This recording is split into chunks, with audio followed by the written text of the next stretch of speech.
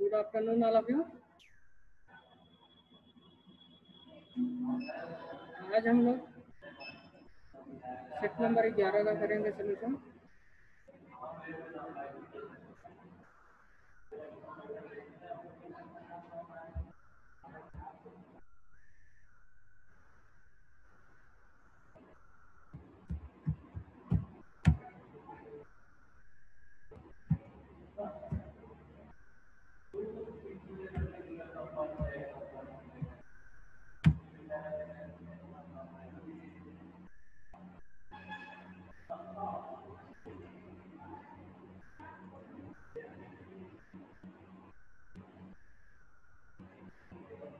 Question पर हम question share कर रहे हैं देखिएगा आप लोग।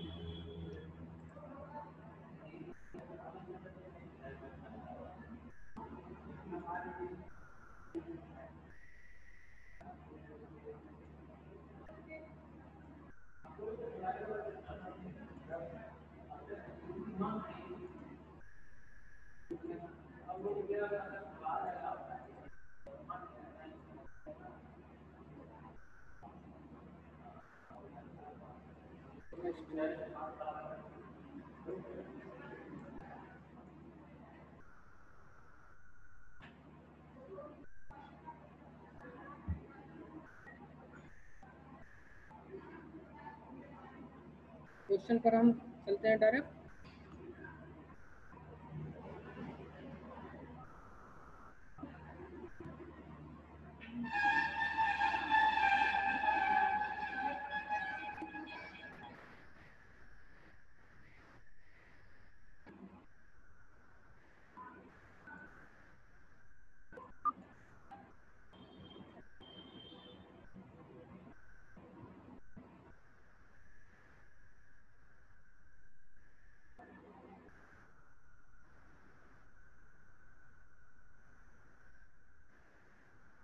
काफ़ी अच्छा आप लोग का रिज़ल्ट है। अड़तालीस नंबर छियालीस नंबर अड़तीस नंबर बहुत ही अच्छा आप लोगों ने परफॉर्म किया है। क्वेश्चन पर चलते हैं। जो भी क्वेश्चन डाउट होगा, उन क्वेश्चनों को सॉल्व कराया जाएगा बारी बारी से। ठीक है? तो पहला क्वेश्चन जो है आपका, बारह, सोलह, अठारह छः और छत्तीस का एलसीएम कितना होगा? तो आप सभी ने इस क्वेश्चन को अच्छी तरीके से सॉल्व कर लिया होगा, हमें उम्मीद है। बहुत ही अच्छा आंसर लगाया आपने। गुड आंसर चलिए मैं फिर भी बता देता हूँ क्वेश्चन में अगर कहीं भी दिक्कत है आपको तो क्वेश्चन को सोल्यूशन करा देते हैं। हम थोड़ा सा बताएँगे, आप लोगों को सारा कुछ पता है। आप लोग एल से निकाल लीजिए। छः और बारह।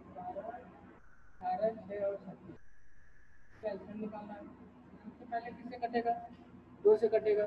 तो दो से हमें काट लेना पहले सबसे छोटी संख्या से काटी जाती है। सबको पता है। छः नौ, तीन और अठारह फिर दो से काट दीजिए। दो के छः नौ, तीन और दोनों अठारह। फिर तीन से कटेगा। वन थ्री फिर थ्री से कटेगा one one one and one तो ये हमारा एलसीएम निकालना है तो जो भी आता है तो एलसीएम यानी lowest common multiplication equal to क्या हो जाएगा? Two into two into three into दो गुना चार के बारह के छत्तीस। छत्तीस आपका क्या हो जाता है? एलसीएम होता है, जो आपने बहुत ही अच्छा आंसर लगाया है। पूरे आंसर है। नेक्स्ट क्वेश्चन की ओर चलते हैं। इसको थोड़ा सा मैं इसको बड़ा कर दूँगा ताकि आपको अच्छा से दिखे। नेक्स्ट क्वेश्चन में है, बारह point one oblique nineteen point eight बराबर कितना होगा? तो चलिए हम स्टॉप कर देते हैं, पहले क्वेश्चन को लिख लेते हैं।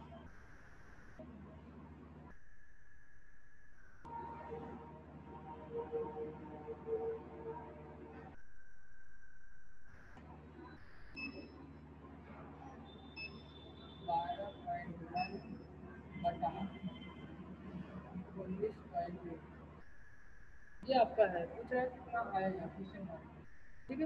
तो चलिए हम क्वेश्चन को सॉल्व करके देखते हैं। देखिए यहाँ पर। तो 12.1 बटे नाइनटीन पॉइंट एट देखिए, एक एक अंक की बाद दशमलव यहाँ पर है और यहाँ भी एक अंक दशमलव बाद है। आपको क्या करना होगा? या तो हटा देंगे, या तो दस का मल्टीप्लिकेशन करेंगे ऊपर और दस का नीचे करेंगे तो भी आपका दशमलव हट जाएगा। तो चलिए हम हटा देते हैं। आप सभी को पता है। तो अब हमको कितना हो गया? ठीक है? अब हमारा कितना हो गया? एक सौ इक्कीस बाई वन नाइन एट हो गया। ठीक है? दशमलव हट गया। अब क्योंकि जो कट रहा है तो काट देंगे। ग्यारह से कटेगा। ग्यारह ग्राम में एक सौ इक्कीस होता है। ग्यारह से कटेगा तो ग्यारह कम ग्यारह ग्यारह अठे अट्ठासी। यानी कितना आ गया? ग्यारह बटे अठारह। आपका अगर ऑप्शन में ये दिया है तो भी सही है। अगर दशमलव में दिया है तो भी निकाल लीजिएगा। इसको भाग दे दीजिएगा। जितना बार जाएगा, वो आप कर लीजिएगा। ठीक है? भाग दे के देख लीजिएगा। चलिए, हम करके देख लेते हैं। दिखाई दे रहा है सबको? नहीं दिखाई दे रहा है। देखो नॉमिनेटर ऊपर रहता है डिनोमिनेटर को हम भाग देते हैं। ठीक है? तो कितना बार जाएगा? देखो, ये कम है, अंदर का, बाहर का ज़्यादा है तो भाग नहीं जाएगा। नहीं जाएगा तो हम क्या करते हैं? दशमलव बार ले जाते हैं, ज़ीरो बढ़ाते हैं। ठीक है? ये एक सौ दस हो जाएगा ठीक है? अब कितनी बार जाएगा? तो देखिए, पाँच बार जाएगा, अठारह, पच्चीस, नब्बे। छः बार रह जाएगा तो अठारह छक्का एक सौ आठ। अठारह सत्ते एक सौ छब्बीस हो जाएगा। तो यानी छः बार जाएगा अठारह छक्का एक सौ आठ।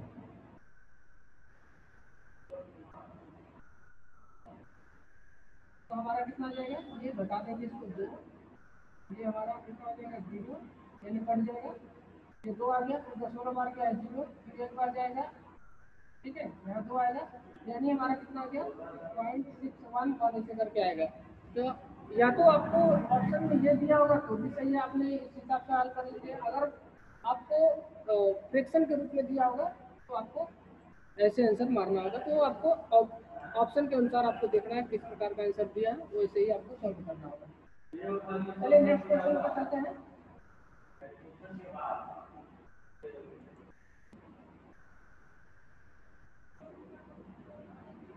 नेक्स्ट क्वेश्चन है 1331 का घनमूल क्या होगा? तो 1331 का घनमूल। तो घनमूल का मतलब जिसमें तीन तीन का जोड़ा बनता है, उसे हम क्या कहते हैं? घनमूल कहते हैं। ठीक है? तो हमें क्या करना होता है? इसका घनमूल निकालना होता है, जिसमें तीन तीन का जोड़ा बने पे लिखा है? तो ये क्या है? क्यूब रूट है। अगर यहीं पर, अगर यहाँ पर टू लिखा होता? सपोज़ दैट में यहाँ लिख देती इसका क्या निकाला जाता है? स्क्वायर रूट निकाला जाता है। तो अभी हमको क्या दिया है? क्यूब दिया है। यानी कि घनमूल निकालने के लिए दिया है। तो घनमूल निकालने के दिया है तो आप सॉल्व कर सकते हैं बहुत आसानी से। आप सभी को पता है, जो तेरह सौ इकतीस है, वो ग्यारह से डिवाइड होता है। ग्यारह से करेंगे कितना जाएगा? इकसठ फिर ग्यारह से करेंगे तो ग्यारह। फिर ग्यारह से देखो, तीन आ गया तो तीन का जोड़ा बनता है, इसलिए ये ग्यारह आपका जो है क्यूब रूट हो जाएगा। मतलब ग्यारह इसका आंसर आएगा। नेक्स्ट क्वेश्चन पर पढ़ते हैं।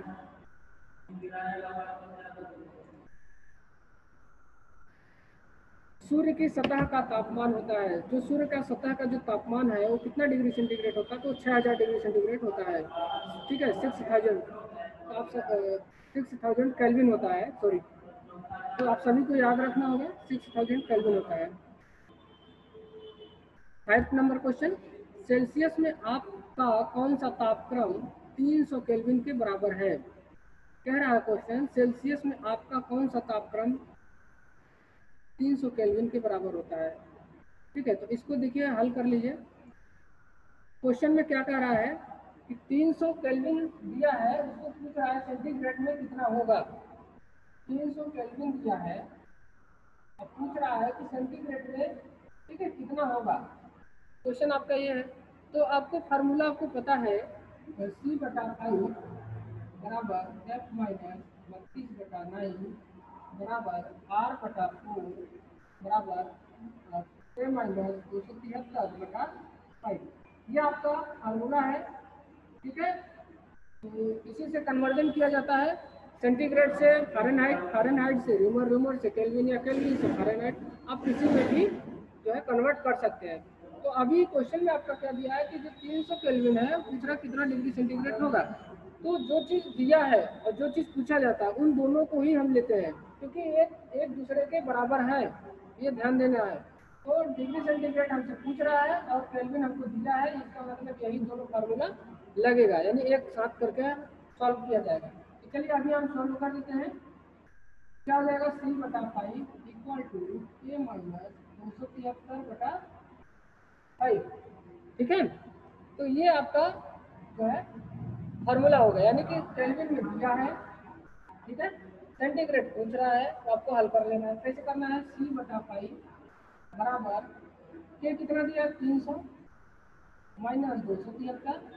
बटा कितना हो जाएगा? फाइव तो देखिए नीचे का जो वैल्यू है डिनोमिनेटर दोनों में बराबर है इक्वल के, इसलिए ये खत्म हो जाएगा। अब इसको घटा देंगे तो सी बराबर कितना आ जाएगा? सेवन और यहाँ पर कितना बचेगा? दो। तो सत्ताईस डिग्री सेंटीग्रेड आपका यह आंसर आ जाएगा। इसमें आपको किसी प्रकार का डाउट होगा तो आप बता दीजिएगा, हमको नहीं लगता कि आपको किसी प्रकार का डाउट है। आप समझ गए होंगे। अगर फिर भी अगर कहीं डाउट है, कोई क्वेश्चन इससे रिलेटेड है तो आप ज़रूर कमेंट में दीजिएगा। पूछिएगा तो आपको सॉल्व करा दिया जाएगा। नेक्स्ट क्वेश्चन की ओर आगे बढ़ते हैं।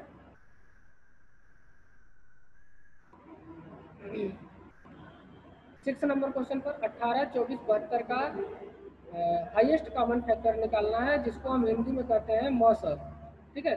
तो चलिए अभी हम इस क्वेश्चन को भी सॉल्व कर लेते हैं।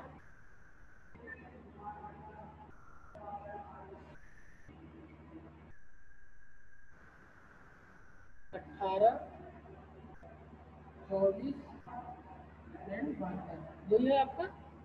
ठीक है, इसका क्या निकालना है? एक्स एक्स हिंदी में कहते हैं मौसम। ये सभी को याद रखना होगा। तो अभी हम इसको स्टॉप करते हैं और यहाँ पर देखिए तो इसको हमें अठारह, चौबीस, बहत्तर का एच सी एफ़ निकालना मौ से निकालना मौ से निकालने के लिए दो विधि का है, या तो गुणनखंड विधि का इस्तेमाल करें या भाग विधि का। तो अभी हम गुणनखंड विधि से बता देते हैं। अगर कहीं को कोई डाउट होगा तो क्वेश्चन सॉल्व होने के बाद आप जो है, वहाँ पर क्वेश्चन आप पूछ सकते हैं कि सर भाग विधि से कैसे होता है। अगर जिनको नहीं आता, अगर आ रहा है तो कोई प्रॉब्लम नहीं है। अठारह, चौबीस एंड इसको सॉल्व इसको हल कर लेंगे, इसका गुणनखंड कर देंगे अठारह का two into three into three दो तीन छः तीन अठारह हो गया। ठीक है? अब इसको करेंगे तो बारह, दो छः दो बाद तीन तो दो चार आठ तीन चौबीस, खंड कर लीजिएगा, चौबीस आना चाहिए फिर बहत्तर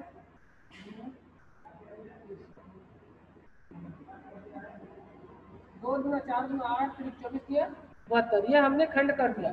खंड करने के बाद एचसीएम में क्या होता है कि जब तक अगर दो संख्या दिया है तो दोनों में मिलना चाहिए, तीन दिया है तो तीनों में मिलना चाहिए, अगर इसके नीचे एक और संख्या तो चारों में मिलना चाहिए, वही संख्या गुणनखंड में, जो हमने किया है। तभी वो मासा माना जाता है। तो अभी हम क्या करते हैं, देखिए, तीनों में दो मिल रहा है तो इसके बाद और कुछ मिल रहा है, इसमें देखिए, तीन नहीं मिल रहा है, इसमें नहीं इसमें नहीं इसमें। इसका मतलब ये संख्या तीनों में मिल रही है। ये आपका क्या हो जाएगा? मौसम यहाँ पर लिखना होगा एच सी या physical two two into three बराबर कितना हो जाएगा? छः ये आपका छः आंसर हो जाएगा मौसम अगर आप भाग विधि से लगाना चाहते हैं तो चलिए अभी भाग विधि से भी हम बता देते हैं। अगर जो जिनको प्रॉब्लम है, ठीक है तो हम भाग विधि भी बता देते हैं। उससे पहले आप स्क्रीनशॉट ज़रूर ले लिया करिए। जिनको नहीं समझ में आता है या कहीं डाउट है, आपको प्रैक्टिस करने में ज़्यादा आसानी होगी। कहीं डाउट अगर उठते हैं तो आप कर लेंगे इससे स्क्रीन ज़रूर ले लिया करिए। चलिए, अभी हम भाग विधि से देखते हैं तो भाग विधि से हम करके चेक कर लेते हैं, कैसे होता है। तो यहाँ पर देखिए, सबसे पहले ये दोनों संख्या को हम लेंगे, अठारह, हम डिवाइड करेंगे चौबीस में तो कितना बार जाएगा? अगर दो बार ले जाएँगे तो ज़्यादा हो जाएगा, एक बार ले जाएँगे, कितना आ जाएगा? चौदह में साठ गया, आठ छः चौदह। अब जो बचता है, उससे हमें क्या करना होगा? फिर उससे डिवाइड करना होगा छः अठारह। अब ये कट गया पूरी तरीके से। फिर भी अभी एक संख्या बची है। जो संख्या बची है, फिर इसी संख्या से भाग देना होता है। तो ठीक है, देखिए हम फिर से वही कर रहे हैं। तो छः से भाग दे देंगे छः कम छः एक, दो छः बारह इसका मतलब ये हमारा छः आंसर आ गया। भाग विधि से भी निकाले तो छः आया, और गुणनखंड विधि से मैंने सॉल्व किया तो भी मेरा छः ही आया। ठीक है नेक्स्ट क्वेश्चन की ओर हम आगे बढ़ते हैं।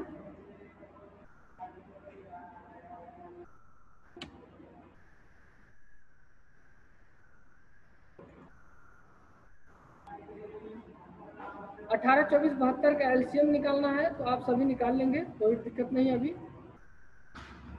इसके बाद एट नंबर क्वेश्चन है नेक्स्ट अठारह, बयालीस, चौबीस का एस निकालना है तो आप निकाल लेंगे। तो आप जिन, जिनका भी क्वेश्चन ये इन्होंने सॉल्व किया है, बहुत ही अच्छी तरीके से सॉल्व किया है, बहुत ही गुड आंसर लगाया है। नाइन नंबर क्वेश्चन की ओर चलते हैं। एटीन पॉइंट फाइव परसेंट को दशमलव भिन्न में बदलिए। तो जो आपका क्वेश्चन है बता रहा है एटीन पॉइंट फाइव परसेंट है। इसको किसमें बदलना है? फ्रिक्शन में बदलना है भिन्न में बदलना है। ठीक है? तो ये ध्यान देने की ज़रूरत है। देखिए कैसे बदला जाता है। अठारह पॉइंट फाइव है। ये का दशमलव है, वो कम दिखाई दे रहा है तो हमने थोड़ा सा बड़ा कर दिया। ठीक है? तो अठारह पॉइंट फाइव को हमें किसमें बदलना है? फ्रिक्शन में बदलना है भिन्न में बदलना है। तो भिन्न में बदलने के लिए देखिए क्या करना होता है, जहाँ पर परसेंटेज लगा हुआ है, ठीक है? तो परसेंटेज का मतलब क्या होता है? सौ होता है। तो अभी हम क्या करेंगे? अठारह पॉइंट फाइव परसेंटेज जैसे ही वहाँ बताएँगे तो नीचे क्या जाता है? सौ, ठीक है? और यहाँ पर देखिए दशमलव लगा है पहले से। तो जब दशमलव हटाएँगे तो हमें क्या होगा? नीचे ज़ीरो बढ़ जाएगा। या इसका दूसरा अगर प्रक्रिया जानना चाहते हैं, कैसे हटता है? तो एक अंक के बाद का दशमलव तो दस का गुना ऊपर और दस का गुना नीचे करना होगा तो दशमलव हट जाएगा। वन एट्टी फाइव बाई कितना हो जाएगा? वन थाउज़ेंड पूरा कर लीजिएगा। इसके बाद, अब ये जो कट रहा है तो काट देंगे। ऑप्शन अब हम चेक करेंगे। ऑप्शन जैसा देगा, वैसा हमें आंसर लगाना होगा। तो अभी हम क्या करेंगे? इसको हम काट देंगे। देखिए, पाँच सौ कटेगा। पाँच दिया तीन पाँच सौ पैंतीस। इसके बाद ये भी पाँच सौ कट जाएगा। पाँच भी दस दो सौ। यानी कितना आ जाएगा? सैंतीस बटा दो सौ। ऑप्शन में अगर फ्रिक्शन में इस प्रकार दिया तो आपका ये आंसर होगा। अगर इससे भी और छोटा किया होगा, छोटा तो अब नहीं होगा, कटेगा ही नहीं, ठीक है? तो ये आपका आंसर हो जाएगा। नेक्स्ट क्वेश्चन की ओर आगे बढ़ते हैं।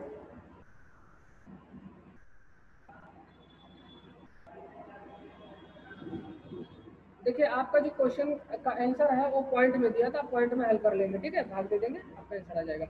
इसके बाद दस नंबर का जो क्वेश्चन है आपका लिखा है टू बटा फाइव कॉमा फोर बटा टेन कॉमा एट बटा ट्वेंटी फाइव का एस सी एफ़ निकालना है, यानी मॉस निकालना है।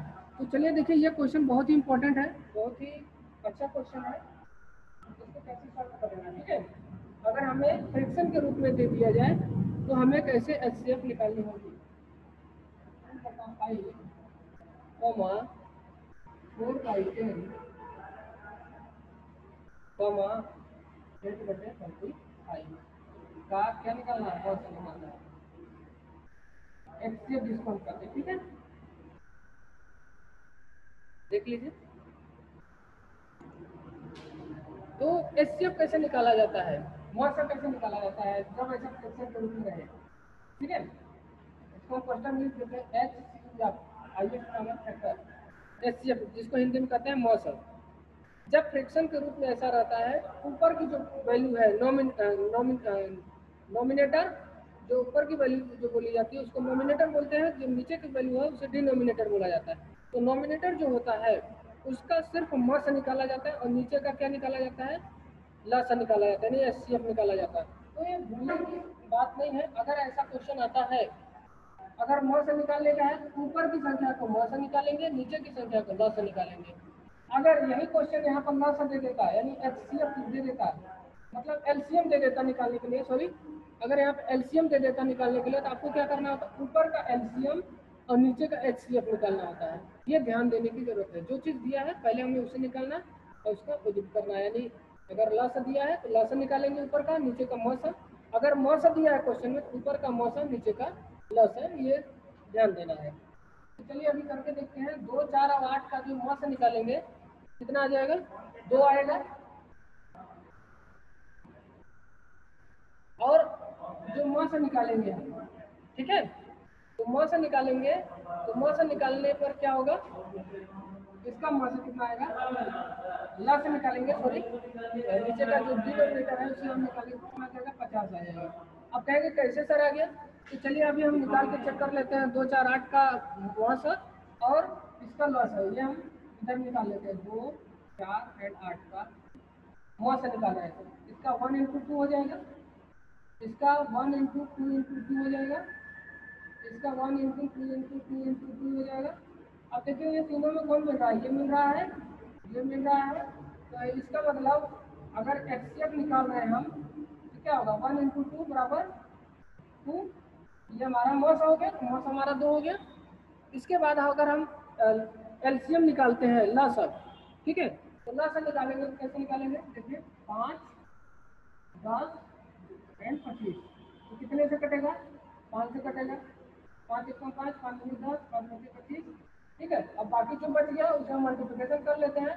एल सी एम क्या हो जाएगा five into two into five तो पाँच पचे पच्चीस गुना पचास। देखिए, ये आपका आंसर आ गया। ठीक है? ये आपका क्या निकल के आया? मौसम निकल के। अगर आप इसको काटना चाहते हो तो काट सकते हो। कितना हो जाएगा? एक बटा ट्वेंटी फाइव अगर इसके दशमलव में लाना चाहते हैं तो ज़ीरो पॉइंट फोर हो जाएगा। समझ गए? तो इसको हल कर लीजिएगा आप लोग। इसका आ जाएगा ज़ीरो आ जाएगा। पॉइंट ज़ीरो फोर आएगा, ठीक है? पॉइंट ज़ीरो फोर आपका क्या आ जाएगा? एलसीएम मतलब कि ये सोल्यूशन का आंसर आएगा। आपको या तो ये आंसर दिया हो, या ये दिया हो, ठीक है? या तो ये दिया। है आपका जिस प्रकार का आंसर दिया है, उस प्रकार को आपको अब आंसर यूज़ करके लगाना होगा। नेक्स्ट क्वेश्चन की ओर आगे बढ़ते हैं।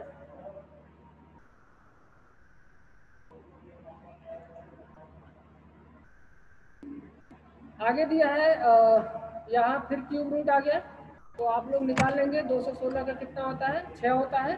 और उसके आगे तीन ज़ीरो है तो एक ज़ीरो बढ़ा के उसका पॉइंट लगा देंगे तो आपका ये आंसर क्लियर हो जाएगा। ठीक है? नेक्स्ट फिर वही क्वेश्चन है क्यूब रूट निकालना है तो ये आप भी निकाल लेंगे इस क्वेश्चन को, कोई दिक्कत नहीं है। इसके बाद जो है वर्गमूल आ गया। देखिए क्यूब रूट तो मैंने बता दिया था स्क्वायर रूट भी देख लीजिए। कहीं कहीं लिख देता है हिंदी में, कहीं कहीं उसका सिंबल बना देता है। ठीक है? Four root. अगर यहाँ टू लिखेगा तो क्या निकालना होगा? वर्गमूल निकालना होगा। अगर हमको क्यूब लिखा जाएगा तो वर्गमूल निकालना होगा। तो आप इसका वर्गमूल निकाल लेंगे आसानी से। कोई डाउट नहीं होना चाहिए आपको। बहुत ही ईजी है क्वेश्चन तो इसका आंसर कितना हो जाएगा? तेरह नंबर का अठारह। तो अठारह का दो बार मल्टीप्लिकेशन करोगे तो कितना आ जाएगा? तीन सौ चौबीस आ जाएगा। Next question fifteen number question पर। चालीस डिग्री चालीस डिग्री बराबर कितना जो है होता है? ये आपको पूछ रहा है, पाई रेडियन में कितना होता है? तो चलिए इसको देख लेते हैं, कितना होता है। अगर हमको चालीस डिग्री दिया इसको पाई रेडियन पूछ रहा है तो क्या करना होगा? हमें इसका क्या करना होगा? पाई बाई एक सौ अस्सी का गुना कर देना। क्यों? क्योंकि पाई का भी मान एक सौ अस्सी होता है और इसका भी मान एक सौ अस्सी है तो कट जाएगा। यानी कोई भी संख्या में ऐसा रखें जिससे हमें क्वेश्चन में कोई परिवर्तन ना हो। ठीक अब इसको काट लेंगे एक आएगा। इसलिए परिवर्तन नहीं होगा। इसलिए हम पाई बटा एक सौ अस्सी का मल्टीप्लीकेशन कर सकते हैं। चलिए काट कर देख सकते हैं, ये ज़ीरो से ज़ीरो खत्म हो गया। दो दोनों क्या दो दोनों अठारह यानी इसका आंसर आ गया टू पाई बाई नाइन ये आपका आंसर हो जाएगा। ठीक है? नेक्स्ट क्वेश्चन की ओर आगे बढ़ते हैं। टू पाई बाई नाइन सही आंसर है आपका। फिफ्टीन नंबर क्वेश्चन पर फोर्टी पॉइंट फाइव का एट परसेंट कितना है? फोर्टी पॉइंट फाइव के जी का आठ परसेंट कितना है? तो आप सभी निकाल लोगे इसका, कोई दिक्कत नहीं होनी चाहिए। उसके बाद sixteen number question six six nine six divided twelve plus two nine four ये भी हल कर लेंगे, कोई दिक्कत नहीं है। सेवनटीन नंबर क्वेश्चन सेल्सियस पैमाने का zero degree Celsius Fahrenheit scale के कितने डिग्री के बराबर होगा? ये सभी को पता है कि जो सेल्सियस पैमाना है वो बत्तीस डिग्री फारेन के बराबर होता है। तो ये आपको याद रखना होगा।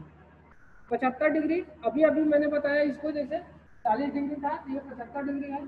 पचहत्तर डिग्री है तो पाई बाई एक सौ अस्सी का मल्टीप्लिकेशन कर देंगे। पाई का भी मान एक सौ अस्सी होता है, ये भी एक सौ अस्सी, इससे कोई परिवर्तन नहीं होता है। काट पीट लेंगे देखिए पच्चीस किया पचहत्तर पच्चीस कट जाएगा। पाँच से काट कर देंगे।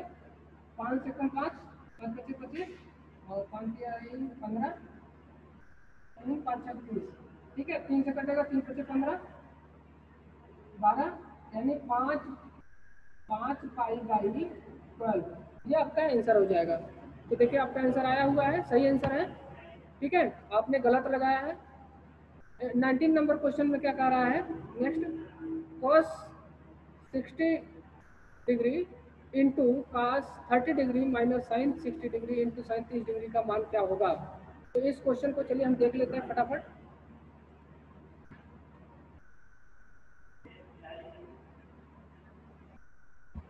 लिखा है cos sixty degree multiplication cos thirty degree ठीक है? इसके बाद क्या था? माइनस प्लस का उसमें देख लेते हैं इसके बाद sine sixty degree into sine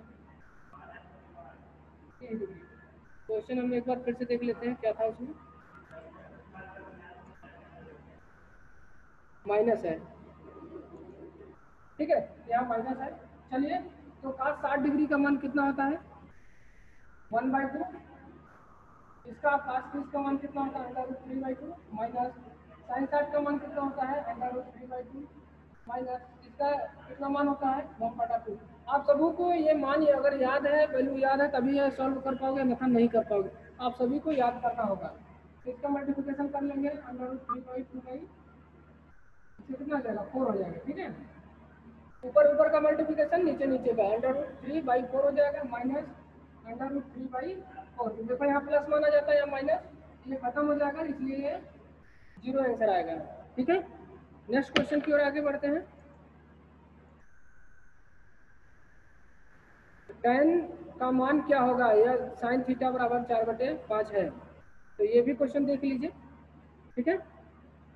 sign theta बराबर चार बटे पाँच दिया है।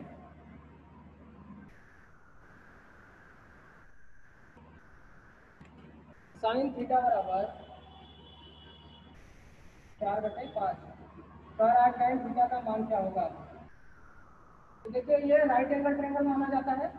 ठीक है साइन थीटा क्या होता है? परपेंडिकुलर बाई हाइपोटेनस होता है, यानी लंब बटा कर्ण तो लंब हमारा क्या हो जाएगा? अगर थीटा यहाँ मानते हैं तो लंब हमारा फोर हो जाएगा और कर्ण ये हो जाएगा। ठीक है तो ये चार है, ये पाँच है तो ये कितना हो जाएगा? थ्री हो जाएगा। पाइथागोरस प्रमेय लगा लीजिएगा। ठीक है कर्ण का वर्ग बराबर, लंब का वर्ग प्लस आधार का वर्ग, हल कर लीजिएगा तो ये थ्री आएगा। तो टेन थीटा इक्वल टू क्या होता है? बटे आधार इसलिए इसका आंसर हो जाएगा चार बटा? तीन। ये आपका आंसर हो जाएगा चार बटा तीन। ठीक है? नेक्स्ट क्वेश्चन की ओर आगे बढ़ते हैं। टेन थीटा किसके बराबर है? तो आप इसको हल कर लेंगे। बहुत अच्छा आंसर लगाया है आपने। ट्वेंटी थ्री क्वेश्चन आयतन का मात्रक क्या होता है? तो आयतन का मात्रक घन मीटर होता है, सभी को पता है। आयरन की सबसे शुद्ध अवस्था क्या होती है? तो राट आयरन होता है, सभी को पता है। पच्चीस नंबर, एक टेबल पंखे को बंद कमरे में चलाने पर हवा गर्म क्यों हो जाती है ना? क्या होती है? अगर कोई कमरा है, अगर उसको, उसमें क्या है कि चारों तरफ़ से बंद है, एयर बाहर से नहीं जा रहा, फ़ैन चला देते हैं आप तो क्या होता है कि कुछ देर बाद जब दरवाज़ा खोलेंगे तो पूरी गर्म होगी ठीक है तो वही पूछ रहा क्या होती है जब फ़ैन को चला देते हैं? और चाहे वो टेबल फ़ैन हो, चाहे छत का फ़ैन हो कोई भी फ़ैन हो, अगर उसको चला देते हैं रूम बंद करके और जब बाद में खोलते हैं तो पूरी गर्म होती है। क्यों? क्योंकि उसके जो एयर होते हैं कहीं बाहर नहीं निकल पाते, आपस में परस्पर टक्कर खाते रहते हैं, इसलिए वो गर्म हो जाते हैं। ठीक है? वो क्या पूछ रहा है कि केवल पंखे को बंद कमरे में चलाने पर गर्म कमरे की हवा क्या होती है? गर्म होती है। ठीक है? तो आप सभी को one two twenty five question solve हो गया।